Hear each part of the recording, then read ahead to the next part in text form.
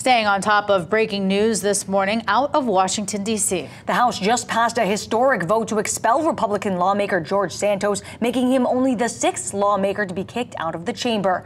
The New York congressman came under fire after the House Ethics Committee released a report asserting Santos tried to, quote, fraudulently exploit every aspect of his House candidacy for his own personal financial profit End quote. The resolution to oust the lawmaker passed 311 to 114, with 105 Republicans voting in favor of the expulsion.